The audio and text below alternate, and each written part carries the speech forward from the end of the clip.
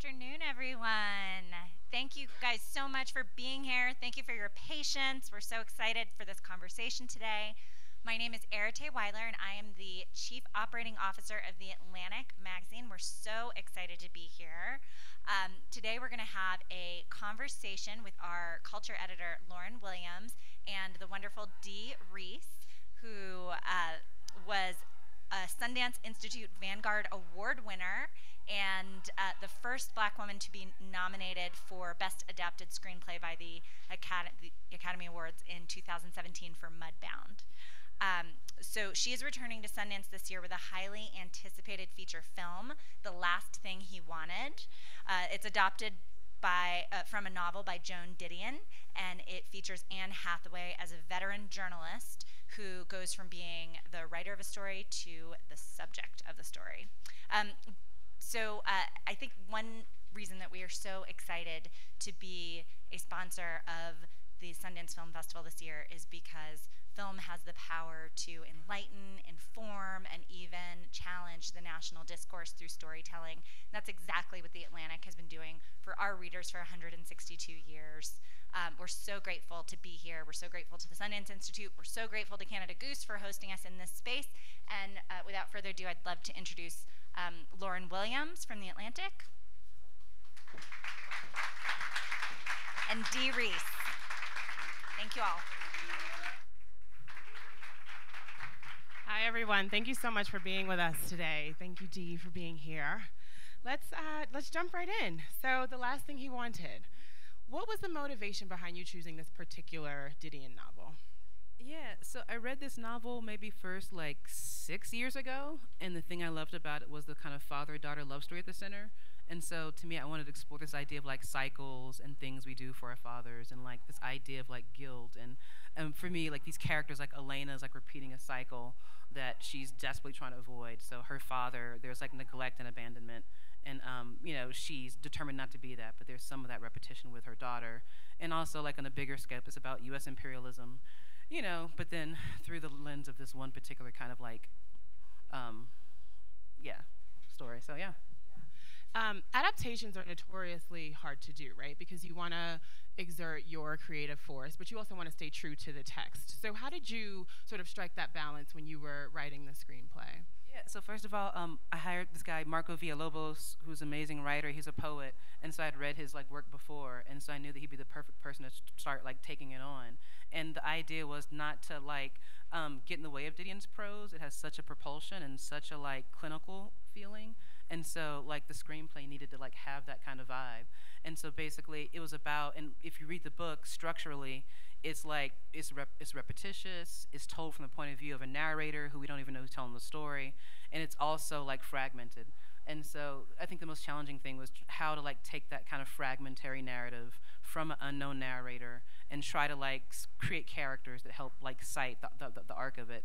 So for example, so Marco added a character named Alma who like is not in the book, and Alma, you know, acts as like this kind of like um, um, kind of like seeing force and she's like a grounding and she's like you know her backstory for, for rosie was that like it's taken her maybe 30 years to get to the same job that like elena has gotten and so she's able to see things in a grounded way in like a non-panicked way that elena can't see and then Jones was like an addition. Jones in the book is maybe like one sentence, and so Jones was a character. And so my idea was to make him into well, I'll give it away, but the idea was to make him into this unexpected kind of um, actor in the story, and it really starts to make you question like who do you think is the hero, who's the villain, and then you know getting the subtle kind of ideas about race and like Elena's blind spot is the thing that ultimately is is her downfall. So um, is like inserting characters that kind of gave it a different kind of tra- trajectory and kind of like contextualized like the main character. So. Right. So when you and Mark were working on the screenplay, did you have specific actors in mind? I'm very curious about the casting decisions. Yeah, I mean, it's funny. I, I just needed somebody like kind of hardened to play Elena, and so Anne Hathaway wasn't like the first person I thought of. and um, it's funny, like her, I think her her agent had seen the script and was like, Anne wants to meet. She's got to meet with you. I'm like, all right, but um, I just saw her as very sweet and girl next door, and like almost she has like a friendly face. I'm like, she can't do this. She's too friendly and sweet looking. And so I met with her, and she like we it was like we're at the Chateau Marmont and having lunch, and she was like going in on why she knew Elena and why she understood this kind of father daughter kind of like connection. And so um, you just want to choose actors that are passionate for it. And for Dick, I wanted a guy, you had to believe that he was like a wheeler dealer in his day. He had to be suave, he had to be like um, attractive, not just in a physical sense, but just like in a charismatic kind of sense. And then for Treat, I wanted someone who looked like a diplomat, someone, and I pulled reference photos of this um, uh, diplomat in the 80s who was like standing behind like Nancy Reagan. So it's like that guy. I need someone who can feel like this all-American, you know, uh, force. And so that kind of, so like Ben Affleck is like all-American, that guy. And then for Jones, um, Edi Gathegi was perfect because I wanted somebody who was elegant, um, trim, and someone who just has like a certain intelligence, you know, in his eyes and like in his like bearing. And um, so um, Eddie was that. And so that's kind of like the, the gist of it. Like Rosie Perez, again, it's just like somebody who was just like wise and like matter of fact, and someone who you could who you could believe has like paid her dues, paid more than her dues, you know, um, and is an artist, and so almost like this artist. And so she contrasts Elena in that she has a life outside of this job, you know. And if Elena had that, things might have turned out differently. So Rosie was my particular fave. Um, so you just listed this heavyweight cast of actors. How do you sort of toe the line between directing and pushing your vision and just sort of letting them do what they do because they're veterans and you know you want to trust them? How do you sort of balance that? Um, I work the same way with all actors, whether they've you know are Oscar-winning actors or first-time actors. To me, it's just about I just they're artists and the whole thing is a collaboration. So for me, like I don't do rehearsals where pounding the words in or pounding the script. I trust you're a professional. You're going to show up. You're going to know the script.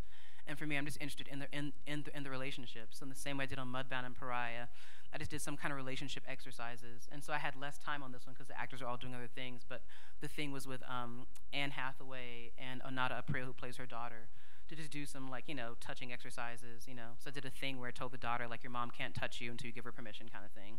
And so they had this kind of face off where anne had to like deal with like the guilt of like you know abandoning this child or the distance like between them and then um, like on set it's like always let the actor have the first take because i feel like you can like over talk it and then they're trying to do what you said and the thing they prepared. So i think it's always giving them a shot to do what they prepared and then you make adjustments and you don't make every adjustment at once. It's like okay we got this part. Okay now what if we change this thing here? So it's like you're adjusting different parts of the text as you go. It's not trying to do all the adjustments all in the next take. So you just like slowly kind of like reel it in and you know you get a sense for how actors work. Like some actors are hot and ready you know and they're best on take one and some actors warm up and they're best on take five. So then you you, you kind of shoot it that way. Like if i know one person is better i'll shoot them first and i'll shoot the other person after they've warmed up. So it's just like you use all those kind of things as, as you kind of get to read people's styles and um, and just like the production process it's just really keeping stuff out of their way. It's like you know i try to block the scene such that they can move and like the camera is moving with them and they're not getting around us and you know thinking about the film as, as they're working. So craft wise because this was an adaptation did you find that you had to sort of exercise different muscles than you would have if it were sort of your own original screenplay? Like was there pressure to, to be doing this sort of well respected writer's work there wasn't necessarily pressure. I think you know, because in the same way that Mudbound was an adaptation, I think any, with any adaptation you have to like make it yours. You know, so like the author has a POV on the characters, and I think you as a filmmaker have to have to have like a POV that is beyond like what's in the page. Right. And so for um, and so for this, it was more just about giving everybody a reason, which was hard because for Elena, there is no why. You know, which is part of like why I like the book. Like there's no real clear why would she do this? Why does she stay? Three different characters ask her, Why are you still here? And she never has an answer.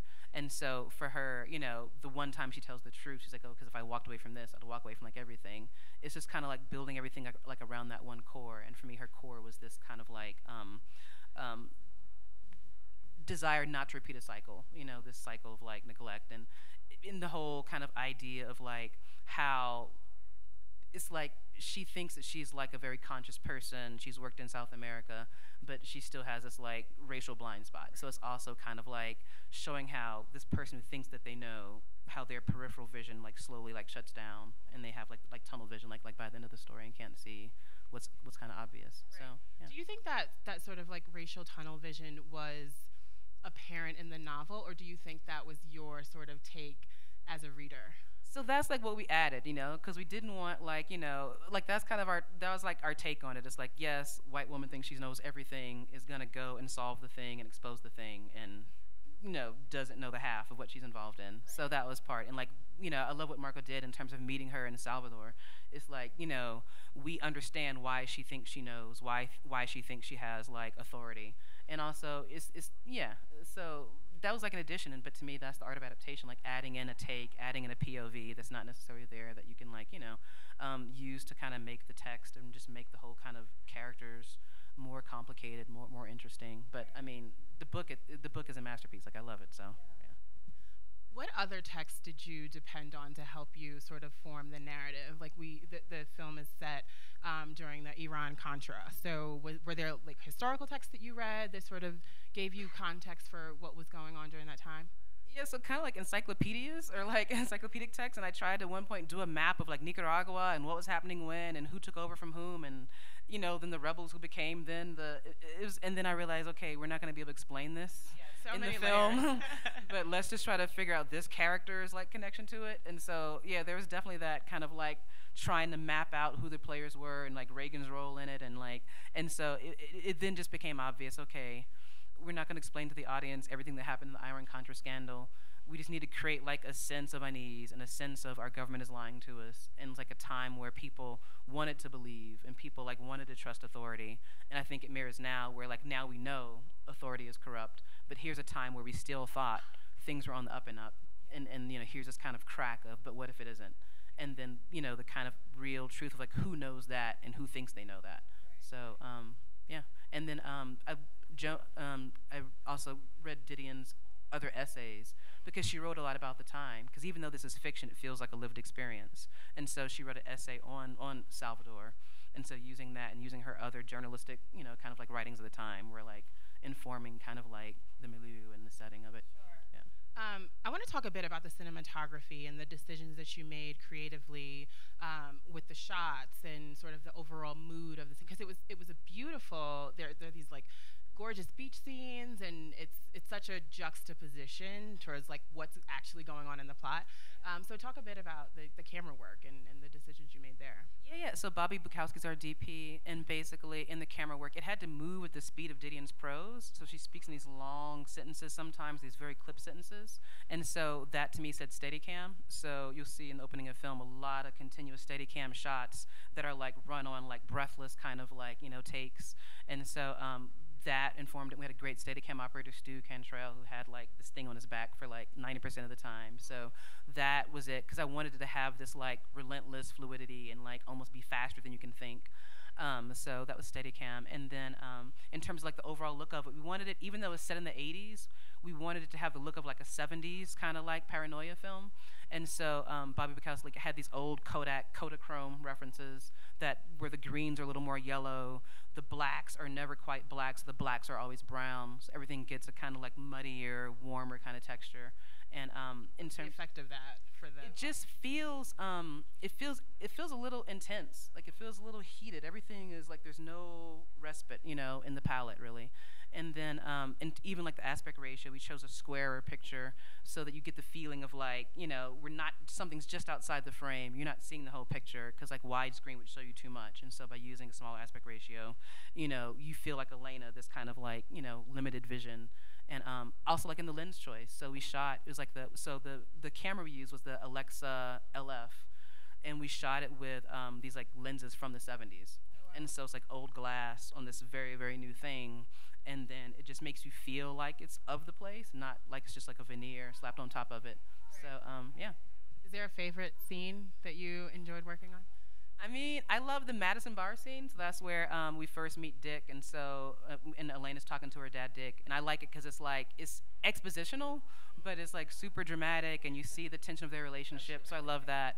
I have to mention Ane Crabtree, our costume designer. Like in the palette, we we uh, did a lot of tone on tone, so to recreate that warmth. So it's like burgundy against red, against orange, and in her palette, like Elena's like a sparrow. She's like brown. She's like burnt orange, and so just like creating that you know warmth throughout, like in the costume and.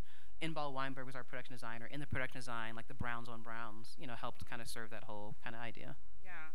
Um, what do you think the film is able to convey that you wouldn't necessarily get from the text itself? I think the film is able to convey that you can get from the text itself that we're often blind to who our real heroes are, you know, and um, it's it's Yeah, I would say, say that. More, say more about that. Yeah, yeah. So if I'll give it away, but I'll just say like you It's know. people should have read it. It's a novel. Yeah, yeah, yeah, yeah.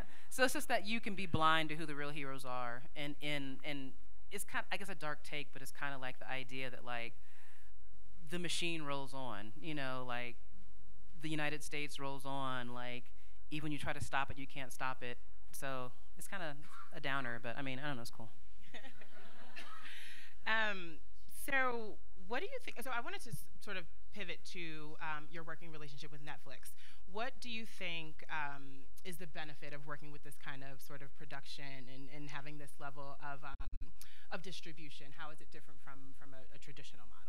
Yeah, so this is different from Mudbound in that. So with Mudbound, that was independently produced, and then Netflix bought it at Sundance. And then with this film, we started with independent financiers. Then they got scared of the budget and dropped out. And we took this to every other studio, and yet again, every other studio is like, "It's Joan Didion and it's me." Like, yes, yes, and they're like, "No," and so, um, and so then Netflix came in with their red cape and saved it, and they're like, "Okay, you know, we'll make this film." And so for me, it's about getting to like do a script, getting to adapt a book that you know other you know studios were shying from because they were kind of like, how is this going to be a story? So I mean, and the benefit of them is that they're super hands off. Like the the good thing is that they're hands off. The bad thing is that they're way hands off. so it's like, hey, it's like somebody gonna check on me? Is somebody gonna like you know like have, have like have they watched it? So I mean, so I mean.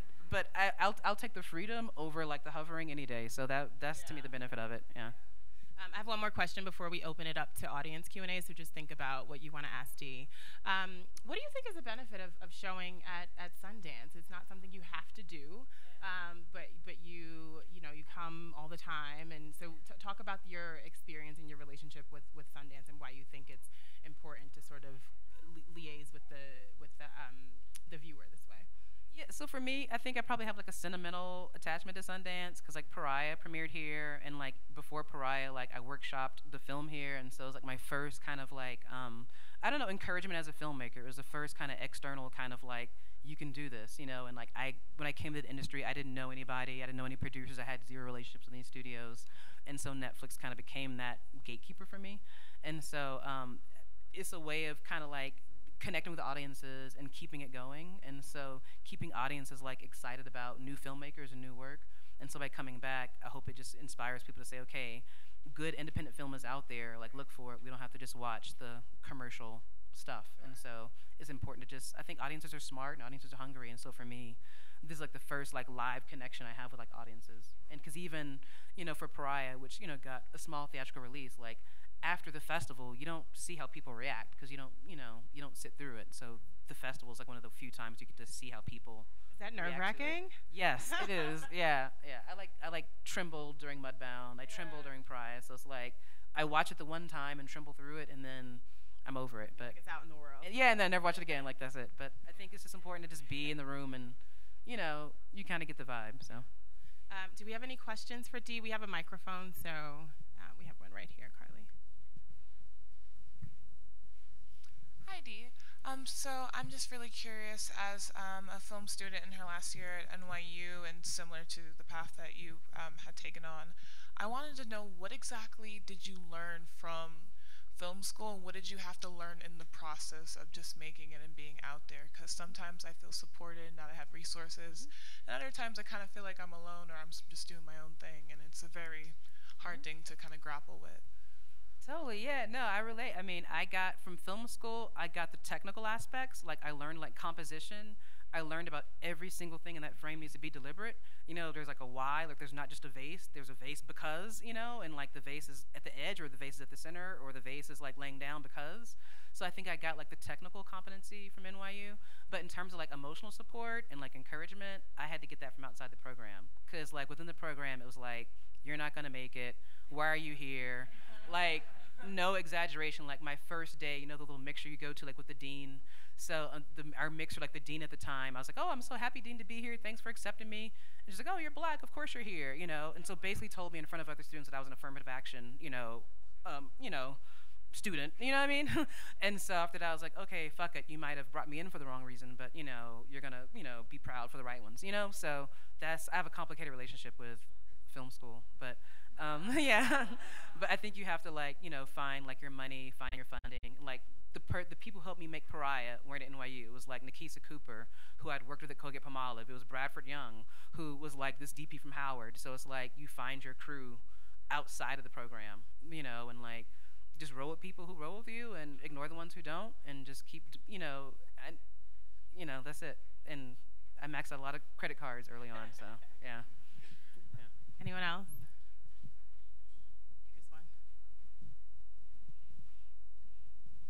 I really appreciate your voice and your perspective and your storytelling. Mudbound, I found very, I just found it a beautiful movie and beautifully executed. Um, I, uh, you talked a little bit about dealing with actors and dealing with them in terms of relationships, and I'm curious if you could talk a little bit more about that and how you approach dealing with the actors based off of those relationships. Yeah, so I think for like any scene, I just always try thinking about it's, it's like not about this. It's not about the little thing they're talking about. And so it's just kind of for each character, you're kind of figuring out like what does each person like really want. Like even if it's not something that ever gets said. So if you go into like one person like wants an apology, it's like for the Madison Bar, it's like Elena like wants an apology, you know, and like Dad wants to like be forgiven, you know. And so then if you take that approach to it, you know, you can kind of make things uncomfortable, like with how you sit sit them next to each other or you, you sit them far from each other. So you just kind of give actors that kind of intention, and then I find that that kind of like gives subtext and kind of infuses the conversation with a little edge. And I think like you'll start to see if something's not working. And I've learned like if you're repeating yourself to an actor, you're not saying the right thing because so it's like if you say apologize and that doesn't work like use a different verb you know because obviously apologize means something different to them. So it's like the, it's like you're like watching like the translation. And so you're saying okay when i say that that makes you do this and you, you're looking at the body language that you want. And so I've, I've just learned like don't repeat yourself. Don't just say no be apologetic. Don't just say the same thing a different way.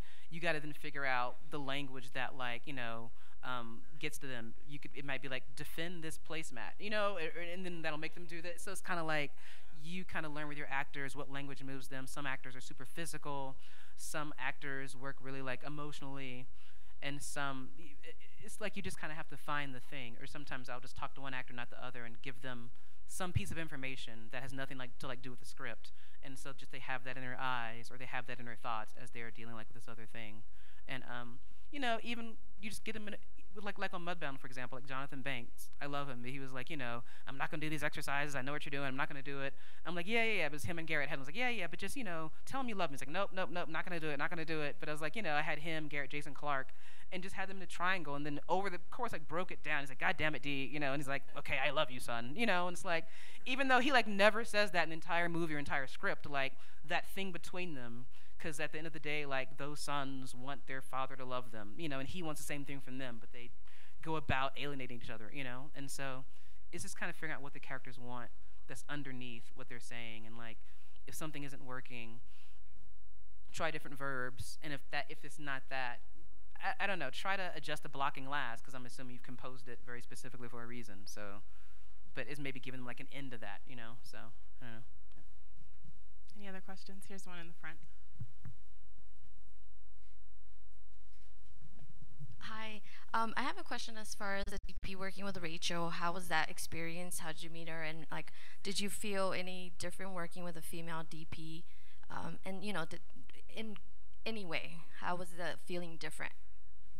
It wasn't different. I don't believe in this male female DP hold the camera differently thing. I don't. I think it's about like connection to material, and so I think you should choose a DP based on the on, on the subject, and so based on who has a connection with the material. So for this one, I wanted Bobby Bukowski because this was like I wanted this like 70s vibe, and he's like from 70s New York, you know. So I knew he'd have a certain like sensibility about it. He grew up on like Panic in Needle Park and like all those kind of things that would like kind of inform the thing. And with Rachel from Mudbound is very kind of like portraiture, you know. And I knew that she's like you know interested in that, and so I came to meet her through um, Len Amato at HBO. So I'd done Bessie there, and I think she had done Confirmation with Rick Famuyiwa. And so um, Len knows us both and was like, I think you'd like Rachel. You should hook up with her. And so it was on Len Amato's recommendation. I was like, okay, let's you know check her out for like Mudbound. And um, it's that. So it's kind of like I think you choose a DP based on what you're shooting, almost. You know, because you, you you get. I mean, you have to be careful because everybody like has their thing. You know, and so you want to make sure they're not just doing their usual thing. On your story. You know, they have to do their thing. They they, they have to adjust to the story. They have to adjust to the characters. They can't just do their thing they do. You know, so yeah. Oh, here's one. Yeah, one of the things I really love about your film is uh, use of color. So I like to uh, hear about how, how you get uh, inspiration to uh, uh, assign the color palette for the film, and also color palette for each characters.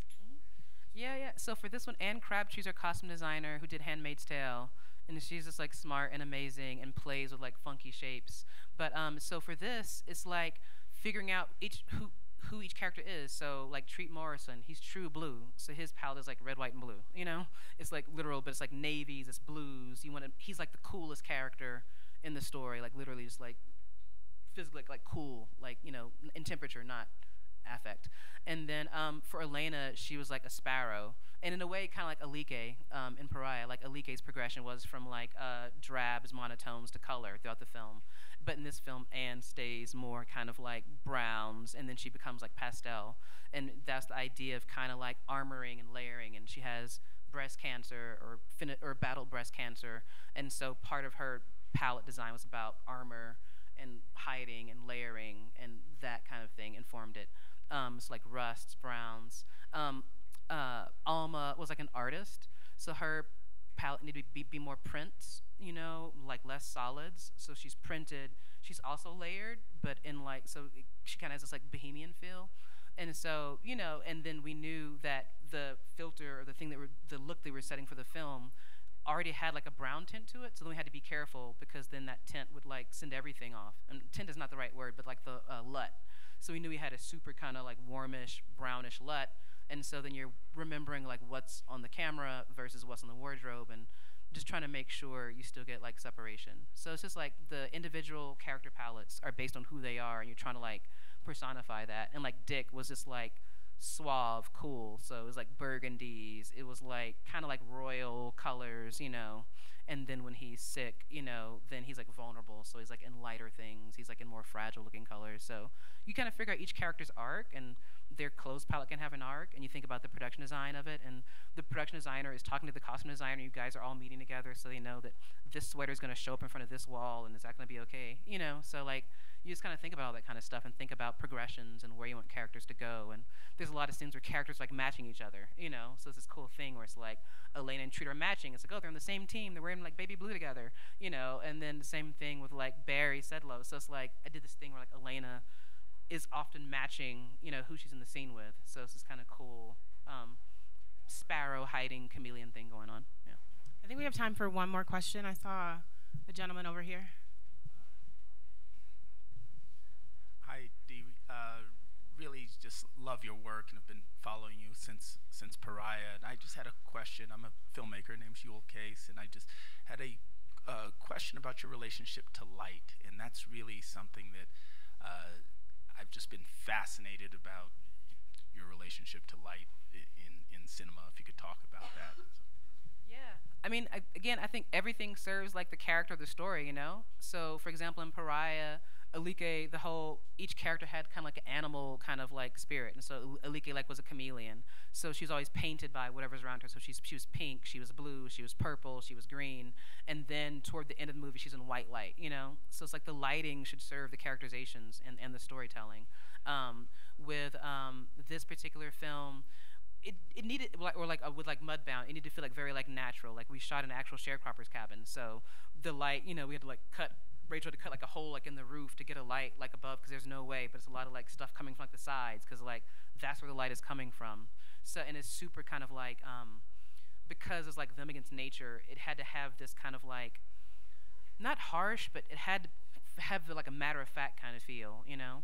And with this film, um, it's a lot of like a lot of like warmish lights, a lot of like um, still just wanting it to feel like environmental and like I like characters to walk in and out of, you know, light and not constantly be like fully lit. So for me, I probably tend to like, I, I'd rather err on the side of like underlighting than to like overlight and you know, let you know, let you like look for them a little bit. And so like my favorite sequence like with that in this film was Elena goes to her dad's house and realizes the state he's in. And so it's this whole like shadowy thing and the even like the the note for production design was like it's dark even like when it's day in here, you know. So she goes in to this interior and it's still even like the light feels like brownish, and it feels very kind of like um, dirtied and filtered. So I think the lighting should serve the characters, and like the lighting is like the DP, you know, like let them do it, but you just kind of talk about the feeling you want, but let the DP do their thing, you know, but you just have the kind of character ideas about it, yeah. Well, that concludes our talk. Please join me in thanking Dee Rees for being with us today.